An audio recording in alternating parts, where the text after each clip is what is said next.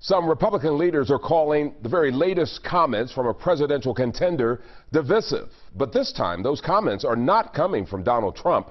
They are from Dr. Ben Carson, heard live right here on NBC on Meet the Press this morning. And they come just days before he is scheduled to be right here in Cincinnati.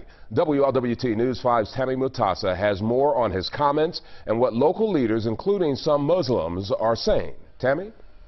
Curtis, Dr. Ben Carson will have a rally at the Sharonville Convention Center on Tuesday. Today, local Republican Party leaders and Muslim advocates agree his comments on Meet the Press are not helpful to this country.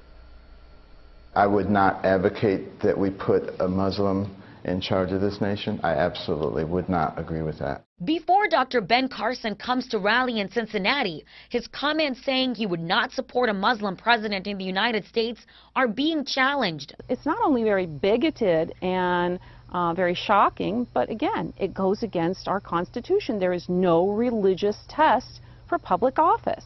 Karen Dabdoub, the executive director for the Council on American Islamic Relations, says Carson's comments divide Americans. Someone from a minority community bashing another minority community, it wasn't that long ago that there were some Americans who were saying that a black man could never be the president of the United States. And now he's turning around and saying this about another minority community. Kind of blows your mind. Hamilton County GOP Chairman Alex Triantafilou says Carson's comments are not helpful to grow the Republican Party. The American voters decide who gets to be president, and if, if one day in this country's history they decide to select a, a Muslim as president, we should respect the will of the people. The comments come after a Donald Trump supporter accused President Obama of being a foreign-born Muslim and called Muslims problems. You know, there are Muslims who I know who are committed conservative Republicans, so they certainly would be welcome in our party, and they would be welcome to be elected if they were the best qualified person for the job.